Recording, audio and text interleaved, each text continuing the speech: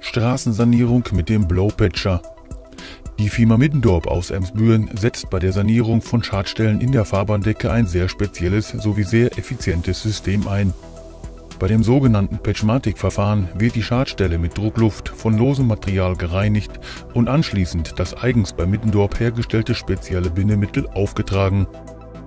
So wird eine optimale Haftung zum Untergrund hergestellt.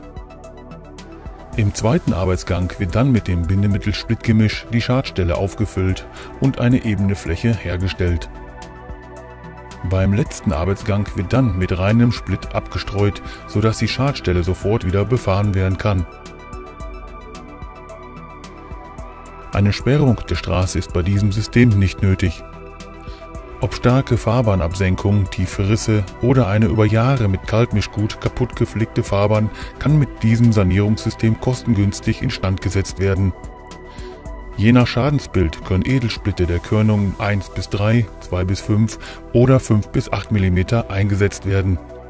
Haben Sie Fragen zu diesem Sanierungssystem oder Einsatzgebiet des Patchmatic-Systems, dann melden Sie sich gerne telefonisch oder per Mail.